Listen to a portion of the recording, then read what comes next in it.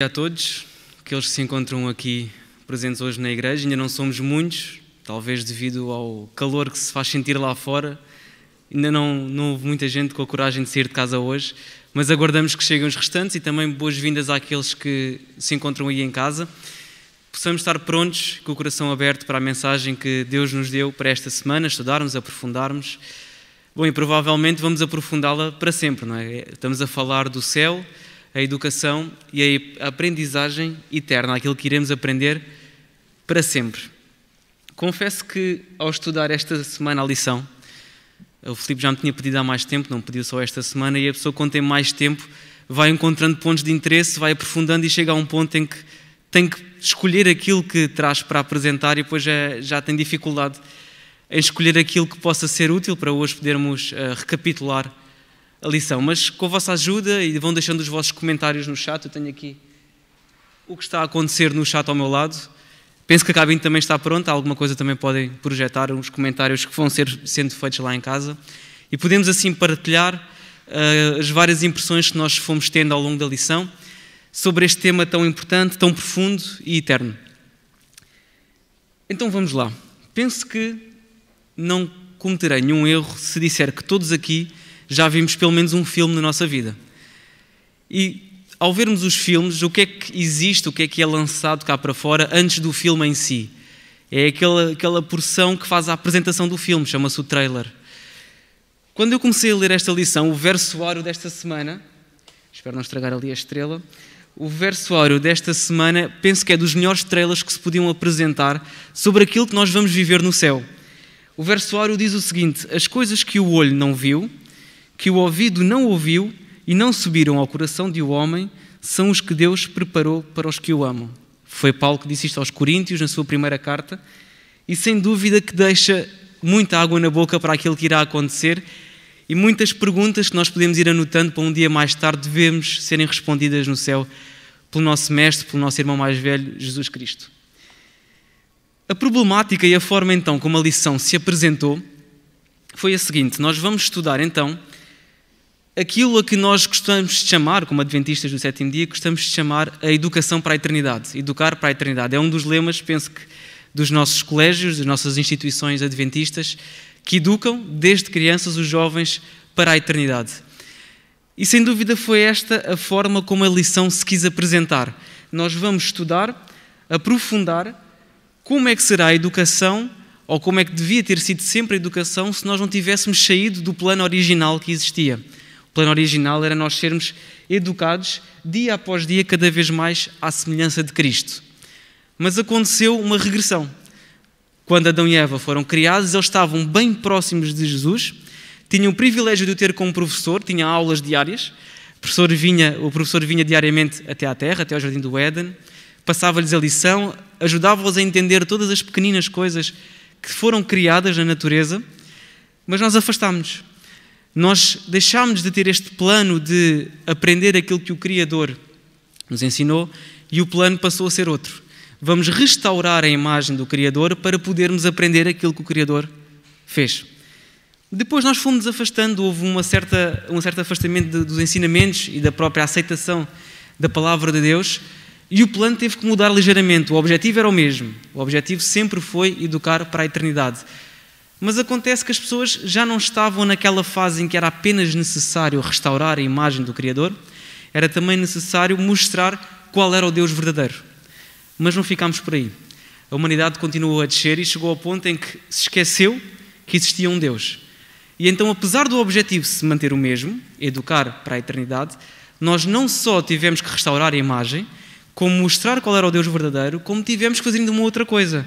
Tivemos que mostrar que, existe um Deus que esse Deus é o Deus verdadeiro, que esse Deus fez o céu e a terra, podemos ser restaurados à sua imagem e ser educados para a eternidade. Então parece que, ao longo do tempo, a humanidade tem se afastado cada vez mais deste plano original. Mas o objetivo manteve-se. O objetivo é sempre o mesmo: restaurar a imagem de Deus no homem e ensiná-lo para a eternidade, prepará-lo para aquilo que aí vem. A lição introduz desta forma e fala-nos de um homem, logo na lição de domingo.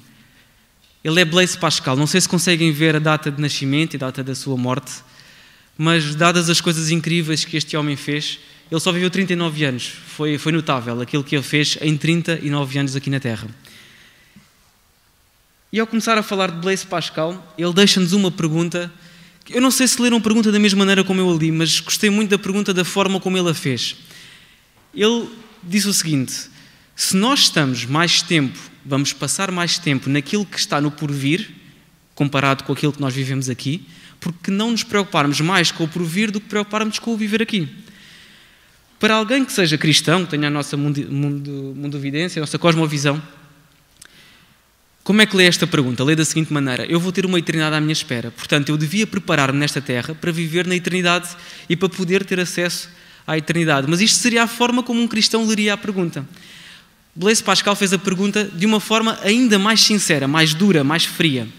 Ele fez a pergunta da seguinte maneira: Independentemente daquilo que me espera, seja a vida eterna, seja a morte eterna, seja um lago de fogo eterno, não interessa aquilo que espera. Independentemente do que está para lá da morte, eu vou sempre passar muito mais tempo nessa condição do que passo aqui na Terra.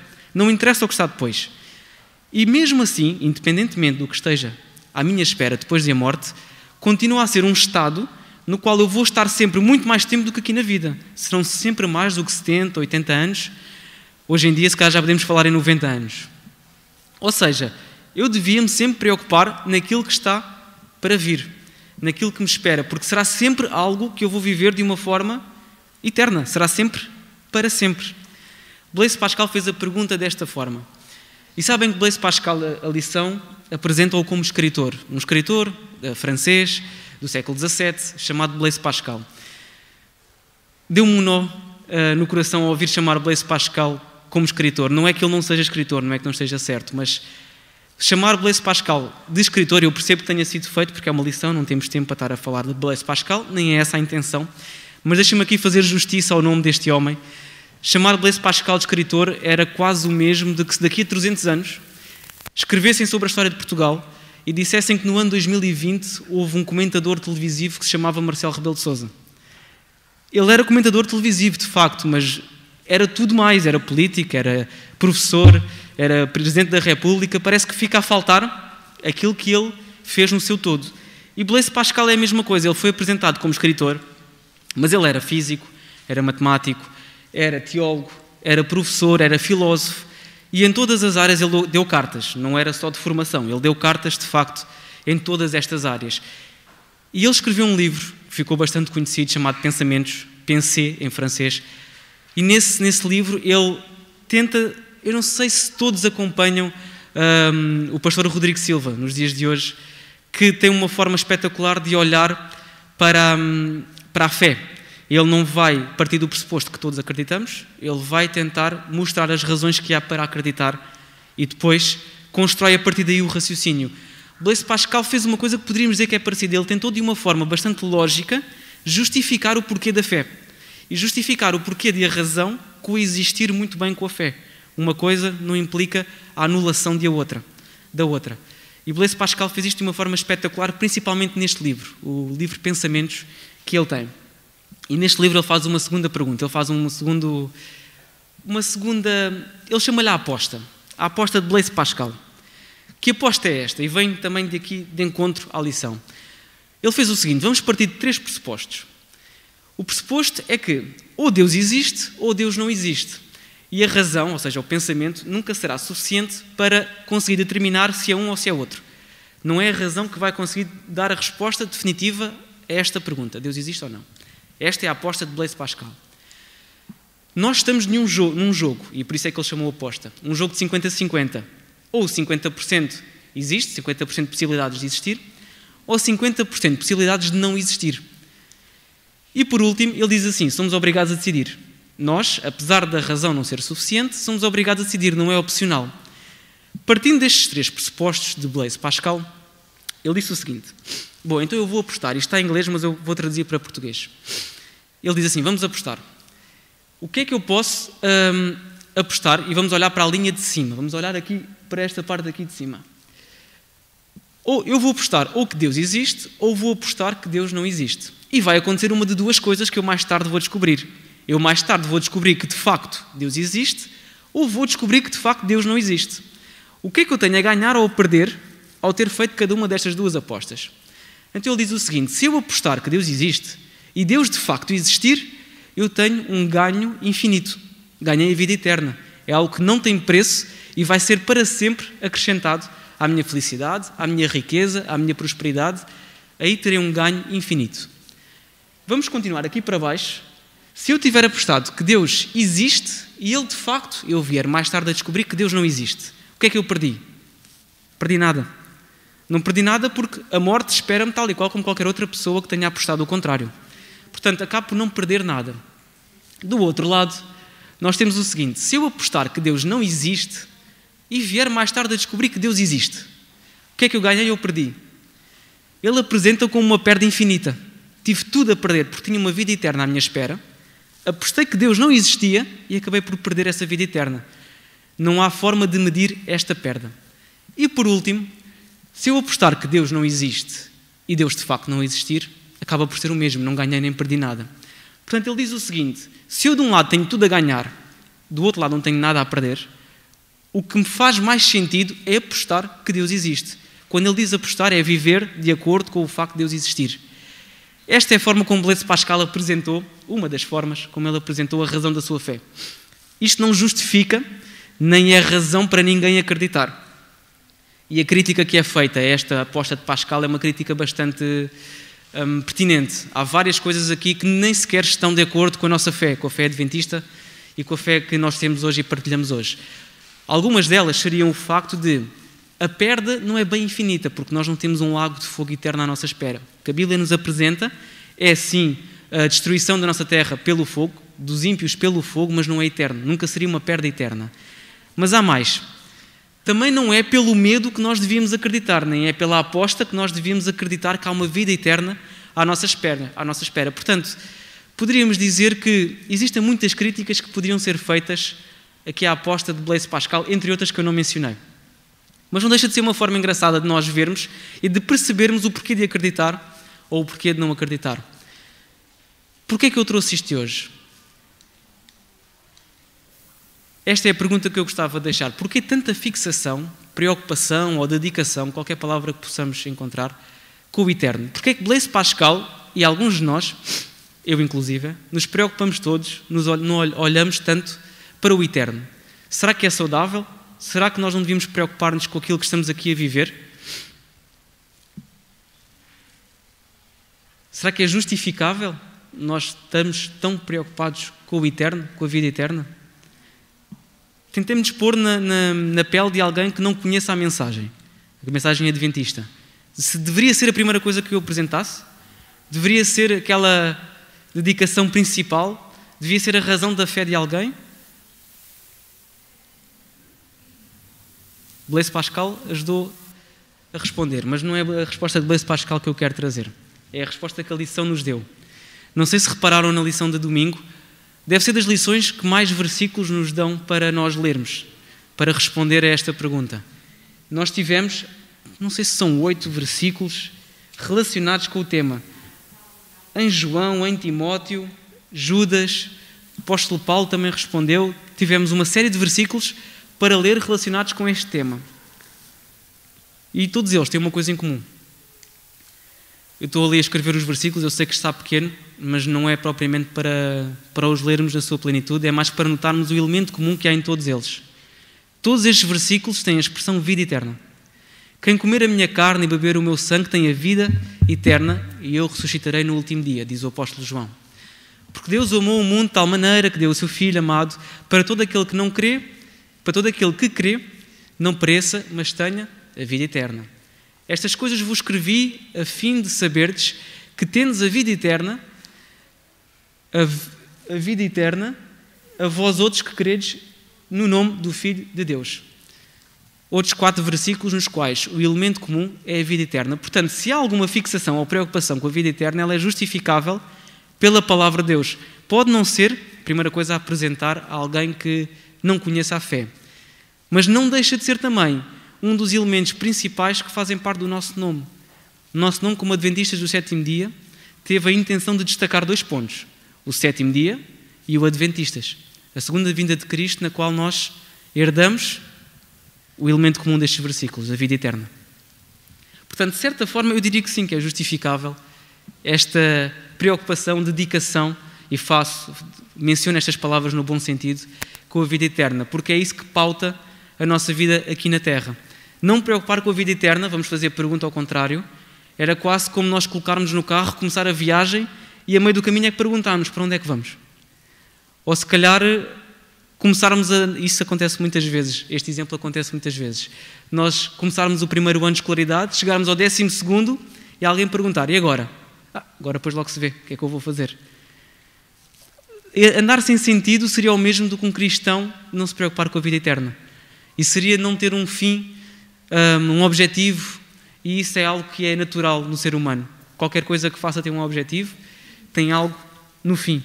A vida eterna é aquilo que a Bíblia nos apresenta após a morte. Portanto, a preocupação de Blaise Pascal, ao fazer aquela pergunta, porquê é que eu não estou preocupado com o que vem a seguir à, à morte e vivo a vida desta forma tão fugaz, tão efêmera? Não devia estar mais preocupado? Bom, eu acho que sim. A vida eterna é aquilo que nos espera, é aquilo para o qual nós trabalhamos, nós vivemos. E se não tivermos, hum, eu diria, alinhados com a educação aqui na Terra, bom, então a educação eterna vai ser algo que não nos vai hum, alegrar. Por outro lado, se eu conseguir entender que há uma, uma educação que me educa para a eternidade, aquilo que eu aprender aqui vão ser só as introduções às várias disciplinas que depois me esperam na eternidade. Deixa-me fazer uma segunda pergunta.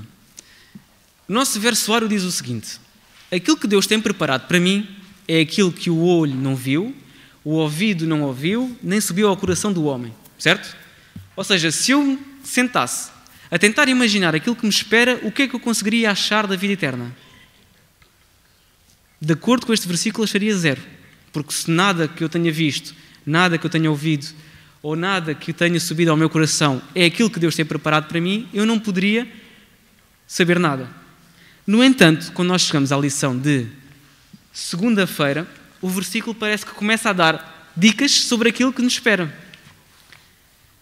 Como é que, o que é que diz o versículo de segunda-feira? Para não ser só eu falar, vou pedir a alguém que possa intervir e ler o versículo de segunda-feira eh, logo no início da lição, em Apocalipse 21, 4.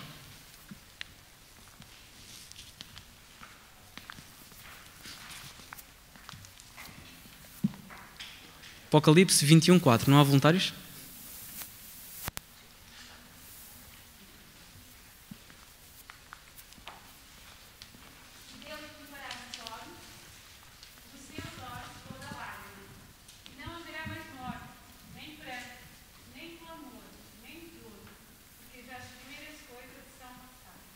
Obrigado, Eliana. Portanto, deu-nos ou não nos deu pistas sobre aquilo que nos espera? Porque nós supostamente não, não imaginaríamos o que, não imaginamos o que aí vem. Mas acabou por dar pistas ou não? Deu pistas? Ok, tenho uma opinião a favor. Não, não parece que este versículo já está a dizer algo sobre aquilo que nos espera? Na vida eterna?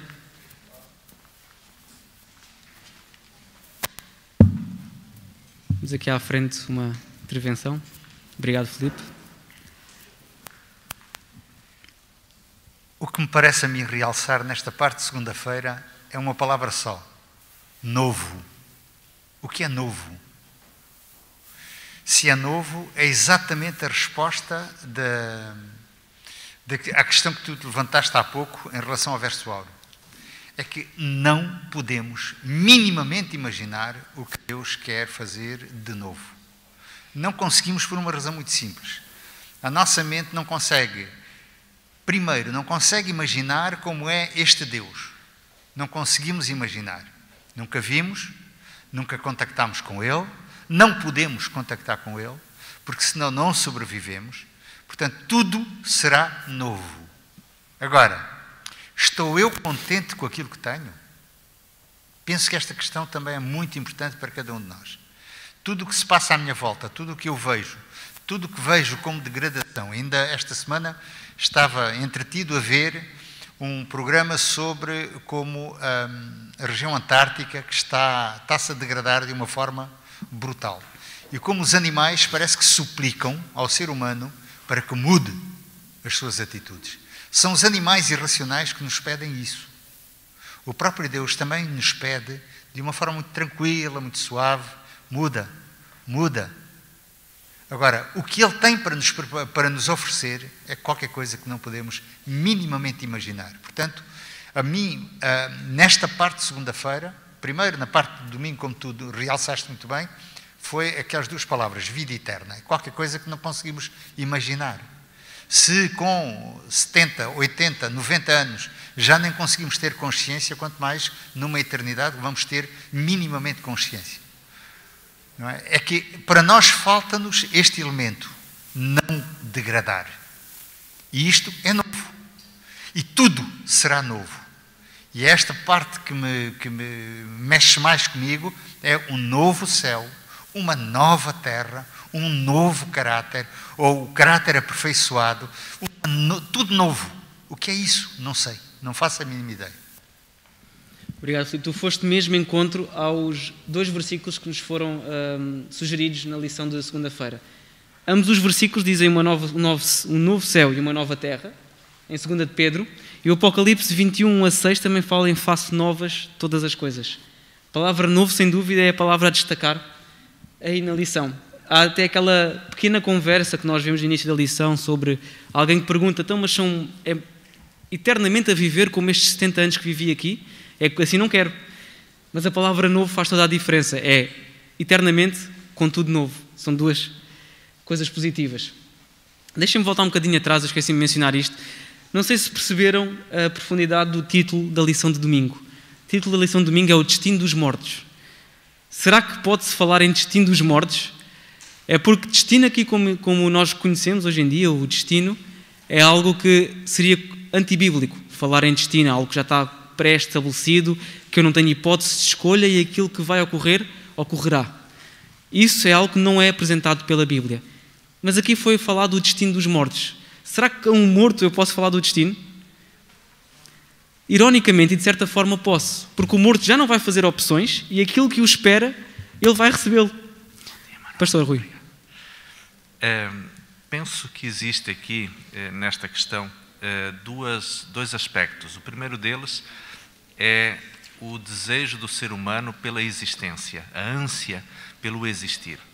Por isso é que nós eh, recuamos sempre diante da morte, não é?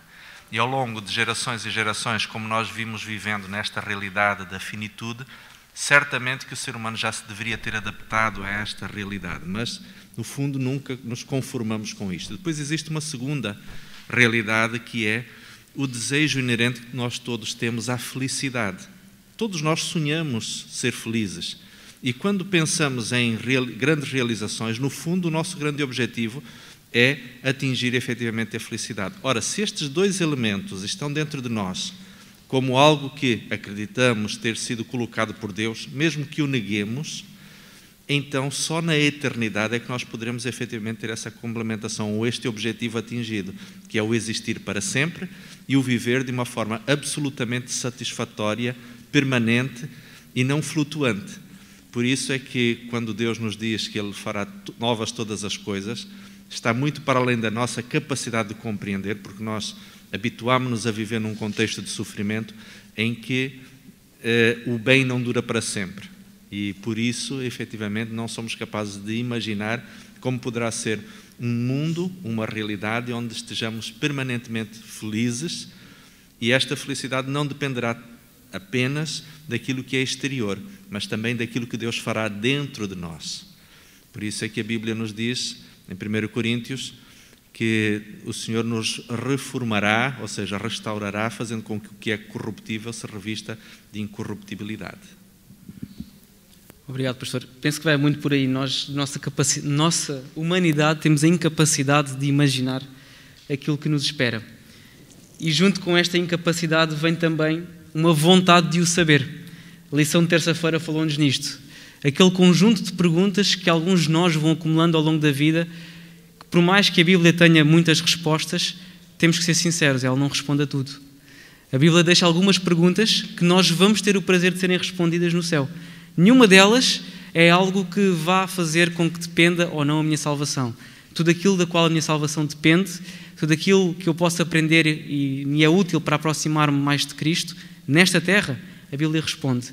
Mas ainda assim, há muita coisa que fica por responder. Eu via um comentário que foi feito esta semana à lição, um, que se falou no ponto da, da criação, dos tais seis dias, que de certa forma há paralelismo entre os dias. Num dia foi criado o, o, as águas de cima e as águas de baixo, mais tarde houveram os peixes de cima, as aves e os peixes.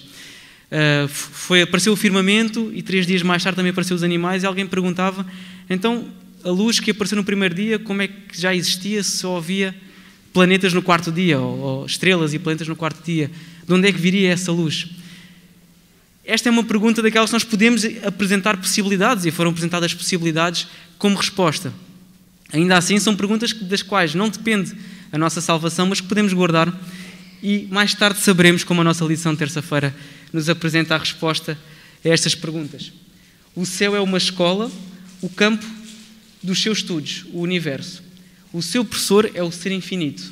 Uma filial desta escola foi estabelecida no Éden e, cumprindo o plano da redenção, a educação reassumir-se-á na escola edénica. Ellen White deixou-nos isto escrito e é assim que é introduzida a lição de terça-feira acerca destas perguntas que nós vamos acumulando, algumas mais pessoais, algumas mais de caráter científico, algumas mais de caráter relacional, que nós um dia mais tarde seguramente teremos a oportunidade para ter as respostas e as respostas não é de um professor qualquer, é do professor que nos aguarda este ser infinito que está à nossa espera para nos educar eternamente. Filipe.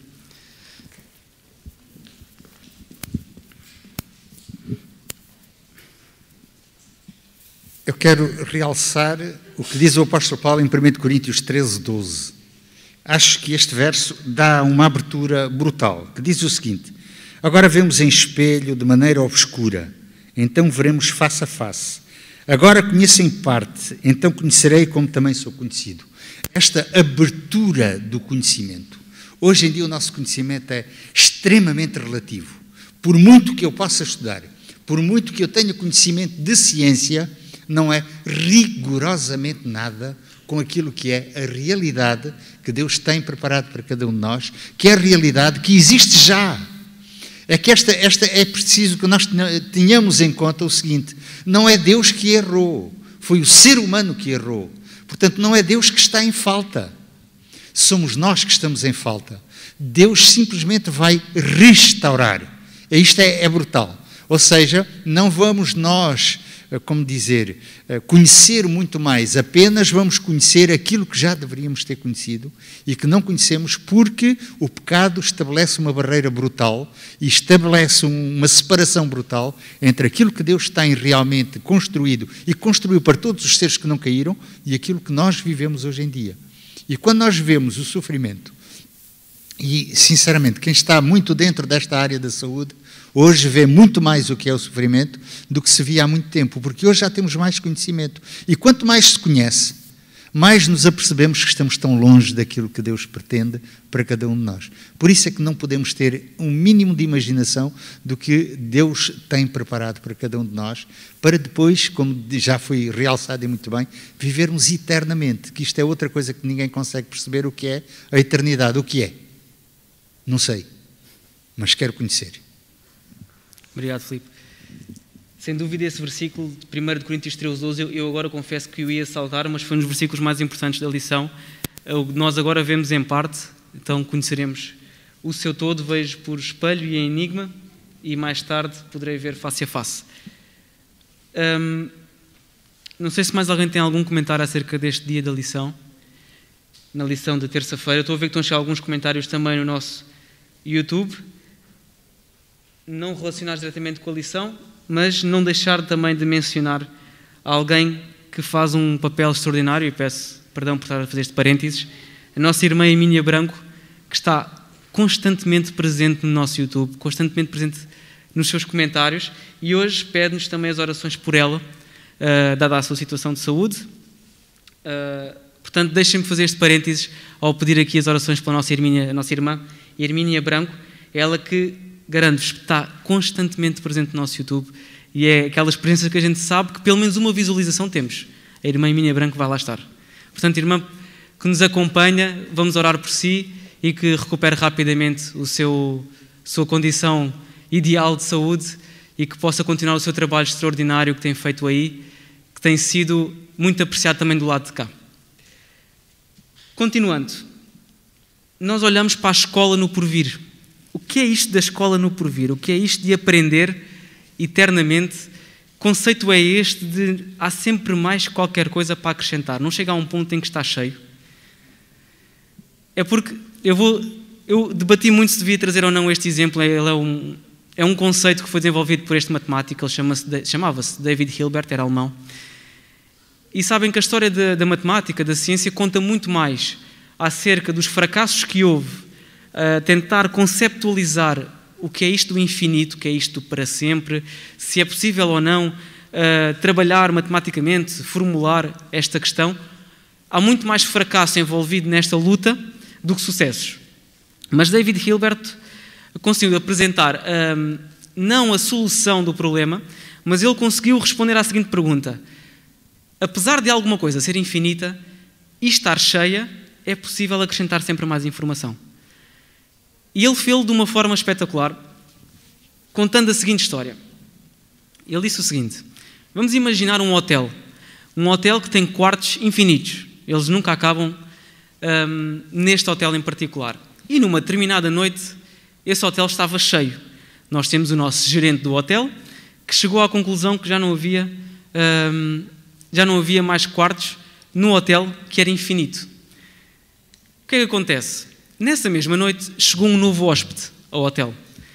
E como uh, bom empregado que era este gerente do hotel, ele tinha que o colocar num quarto, não o podia deixar à porta, ao frio, ele tinha que o colocar num quarto, no hotel infinito, que estava cheio.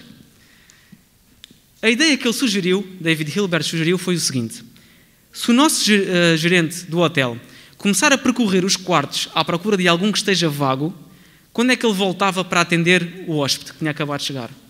Nunca iria chegar. Nunca iria acabar de checar todos os quartos, porque haveria sempre mais um para ver e ter a certeza se estava vago ou não. Então a ideia que ele desenvolveu foi o seguinte: e fica bem latente que não dá para trabalhar com o infinito, mas ainda assim dá para acrescentar mais informação a ele. Ele pensou no seguinte: eu vou ter com o primeiro hóspede, o que está no quarto número 1, um, e vou-lhe pedir o favor de passar para o quarto número 2 e passar a mensagem. Ele chega ao quarto número 2 e vai passar a mensagem ao 3. O 3 muda de quarto para o 4 e passa a mensagem para mudar para o 5. E por aí fora. Isto vai se repetir até quando? Até o infinito. E assim fica o primeiro quarto vago para aquele hóspede que acabou de chegar. A primeira pergunta que. Primeira, primeira vez que entrei em contato com, esta, com este paradoxo, ele chama-lhe o paradoxo do Hotel Infinito. A primeira pergunta que eu fiz é o seguinte: mas não estava cheio o hotel? Se estava cheio, como é que cabe sempre mais? É que David Hilbert diz: não há último. O conceito de infinito é maior do que cheio. Portanto, se o hotel é infinito, a questão do cheio é a parte em que nós humanamente percebemos. O do infinito é o que não percebemos, é o que está para lá. Então ele disse o seguinte: matematicamente é, é possível acrescentar mais ao infinito. Mas a noite continua, não ficou por aqui. Chegou posteriormente um. um isto foi a, a, solução que ele encontrou. Como podem ver, o primeiro quarto ficou vazio, está ali a branco, e todos os outros quartos acabavam por estar preenchidos até ao infinito. Mas nessa mesma noite chegou um autocarro com 4, 40 hóspedes. Estou a contar a história tal e qual como ele a contou. 40 hóspedes. O que é que o nosso gerente do hotel iria fazer então? Com 40 hóspedes? Bom, a solução já estava encontrada. Ele iria pedir aos primeiros 40 para avançarem 40 casas e passarem a mensagem. Assim eles sairiam do seu quarto, seriam de certeza hóspedes bastante insatisfeitos com aquele hotel. Estavam sempre a trocar de quarto ao longo da noite, mas ainda assim havia espaço para todos. Saíam do seu quarto, avançavam 40 quartos e passavam a mensagem, e assim iriam vagar 40 quartos para estes novos 40 hóspedes. Pergunta que eu fiz e que David Hilbert também apresentou no seu paradoxo foi: Mas quando eu chegar ao céu, eu não vou ter, entre aspas, um só hóspede para acumular em termos de informação, em termos de educação, de conhecimento do meu, do meu Deus, da sua natureza, da sua criação. Eu vou ter conhecimento infinito para aprender. E após terminar esse infinito, há um infinito à frente para aprender ainda mais. Portanto, eu não posso tentar só encaixar um hóspede ou 40 hóspedes. Acontece nessa mesma noite chegou um autocarro que tinha infinitos lugares. Um autocarro tinha infinitos passageiros para colocar num hotel que era infinito. Qual é que seria então a solução que o nosso gerente do hotel poderia encontrar? Ele não podia pedir ao primeiro hóspede para andar infinitas casas. Se fosse um, andava uma casa. Se fosse 40, andava 40. Se chegar a um hotel com infinitos hóspedes. Como é que então o nosso gerente consegue gerir a situação? Foi uma situação bastante, bastante pertinente. O que ele pensou foi o seguinte: dentro do infinito, o número 1, 2, 3, 4, quantos números pares é que existem? O 2, o 4, o 6, infinitos. Quantos números ímpares existem? Infinitos. Então o que ele decidiu foi: eu vou pedir aos hóspedes para avançarem para o quarto, cujo número é o dobro do seu. O 1 passa para o 2, o 2 passa para o 4, o 3 passa para o 6. O que é que vai acontecer no final desta história toda? Todos os quartos pares vão estar cheios, que são infinitos, e todos os quartos ímpares vão estar vazios, disponíveis para aquele autocarro que tinha infinitas pessoas. Porquê ter-nos desviado tanto da lição? É uma pergunta legítima que podem fazer neste momento para explicar isto. Porque eu assim consigo entender um bocadinho melhor esta frase que Ellen White nos deixou, escritas, nos deixou escrita. Por mais que avancemos no conhecimento da sabedoria e do poder de Deus, há sempre um infinito para além. E por mais que eu possa ter a minha mente já cheia de tanto conhecimento, caberá sempre mais conhecimento para aprender acerca do meu Deus. Há sempre um infinito mais e a nossa mente estará sempre disponível para receber mais e mais informação. Esta é a escola do porvir. A nossa leve e momentânea tribulação aqui na terra como dizem em 2 Coríntios, produz para nós um peso eterno de glória muito excelente, não atendendo nós nas coisas que se veem, mas que não se veem. Porque as que se veem são temporais, mas as que não se veem são eternas. Eu não vou mencionar aqui todos os textos que a lição nos deixou de Ellen White, mas convido-os a fazer, ainda que seja uma segunda ou uma terceira vez. No final da lição de quarta, na lição de quinta e sexta-feira, foram-nos deixados vários trechos de Ellen White acerca deste tema.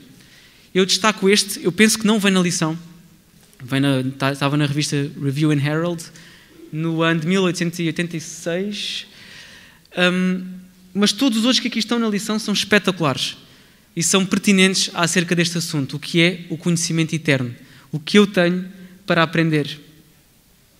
Mas há um ponto que nós não podíamos terminar esta lição sem mencionar. Quem será então o professor eterno? O que é que este professor eterno tem de eterno para me ensinar? Deixem-me voltar a Blaise Pascal. Ele, ele tinha esta forma muito uh, filosófica e matemática, de certa forma, de enfrentar as perguntas acerca da, da existência, da cosmovisão. Ele faz esta pergunta que penso que, nos, que ajuda a introduzir o grande professor que nós vamos ter na eternidade. Ele diz o seguinte: o que é então este desejo? Isto vai um bocadinho de encontrar aquilo que o Filipe há pouco estava a dizer, este desejo, esta ansiedade de querer e saber mais, de procurar mais a felicidade. Ele diz o seguinte: o que é este desejo, esta incapacidade, nos proclamam, mas que houve uma vez no homem uma verdadeira felicidade, de a qual agora resta a ele apenas uma marca e um traço vazio, que ele em vão tenta preencher de todo o seu entorno, buscando de coisas ausentes a ajuda que não obtém nas coisas presentes. A pergunta foi feita assim, é um bocado complicado de entender, eu vou reformulá-la. Ele diz mais, mais ou menos o seguinte: o ser humano tem um vazio infinito que tenta incansavelmente preencher durante toda a sua vida. Por que é que existe este vazio? Ou melhor, o que é esse vazio que há no ser humano? É porque tudo aquilo que o ser humano necessita, por natureza, onde é que o ser humano encontra? Fora de si, na natureza. Coisas que o ser humano precisa. Água. Existe na natureza? Existe. Vitaminas existem. O relacionamento humano existe. Até para podermos procriar é preciso um macho e uma fêmea. Existe macho, existe fêmea? Existe. Ou seja, tudo aquilo que o ser humano, por necessidade, fisicamente e mentalmente, socialmente tem, existe fora de si. Mas e esta resposta a este vazio, a este infinito que existe fora de nós, que nós podemos passar uma vida a tentar preencher e que podemos nunca, ou melhor, nunca conseguimos que é esta coisa de querer sempre mais. Esta semana eu falava com, com um senhor que foi lá à casa um, e nós falávamos acerca da, da forma como o seu pai faleceu. Ele estava a contar que foi de uma forma uh, difícil, dolorosa, teve uma doença que nós rapidamente sabemos que não há grande coisa a fazer, e naqueles últimos quatro meses da sua vida ele sofreu muito. Mas quando eu lhe perguntava, ainda assim, ele era mesmo aquilo que ele queria, era morrer, apesar das dores todas, ele dizia: Pois, mesmo assim, lá no fundo, no fundo, eu sei que o meu pai não queria morrer. Existe em nós, mesmo quando sabemos que não há mais oportunidade, algo que chama ao infinito, algo que nos chama àquilo que é eterno. E existe algo a preencher que não se preenche com as coisas que, não, que estão aqui, como Blaise Pascal dizia. Nós tentamos preencher com coisas que estão ausentes. Procuramos algo que não encontramos. É esse vazio que existe e que nós tentamos preencher. Penso que não cometo nenhum pecado ao dizer que a Bíblia nos responde a esta pergunta: onde é que está este infinito que preenche o infinito que existe dentro de mim? Blaise Pascal dizia: estes, estes, mencionando todas as formas como tentamos preencher este vazio, estas formas são todas inadequadas, porque o infinito abismo só pode ser preenchido por um objeto infinito e imutável, isto é, somente pelo próprio Deus. Ou seja, existe fora de nós algo que preencha o infinito que eu tenho dentro de mim? Existe. E apesar de eu não o ver, Ele aguarda-me na sua segunda vinda. Existe algo infinito a aprender com Cristo? Também existe. Apesar de haver muitas disciplinas, e Ellen White fala-nos muitos conhecimentos, desde o mais pequenino átomo ao maior dos astros, existe muita coisa a aprender e muita coisa mais. Mas este professor tem algo infinito a explicar-me, e isto é deixado bem latente nas suas, nos seus escritos, nos seus escritos inspirados. É o amor de Deus. É que mais tarde vai haver uma diferença entre aquilo que era o plano original e aquela que vai ser a solução final. A solução final vai incluir as cicatrizes que o pecado deixou nas mãos de Cristo. Mas ainda assim, não vai ser uma coisa que se aprenda numa só eternidade. Vai ser preciso eternidade após eternidade para aprender este, esta disciplina em particular. Será uma disciplina infinita da qual os anjos se esforçam e não conseguem compreender. E nós teremos toda uma eternidade para nos esforçarmos, nos alegrarmos estarmos cheios deste conhecimento e ainda assim haver um infinito mais para encaixar no hotel que é a nossa mente. Olhem esta última citação que vos deixo de Ellen White. Podeis concitar toda a faculdade e poder a vós concedidos por Deus, no esforço de compreender o amor e a compaixão do Pai Celeste.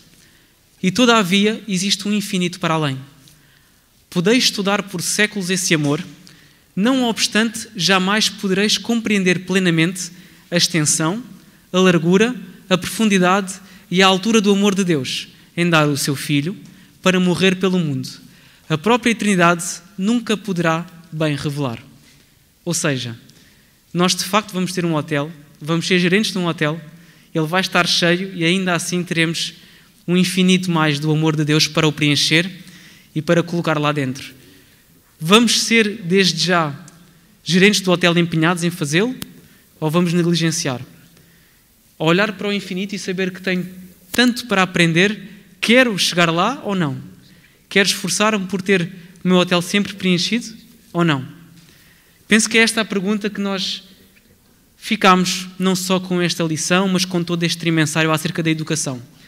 Começámos no início no Éden, onde tudo era perfeito, passámos pela família, passámos pelos patriarcas, pelo professor enquanto aqui esteve na Terra, falámos no trabalho, no sábado, e hoje olhamos para o infinito, quando voltamos a estar exatamente onde nunca devíamos ter saído.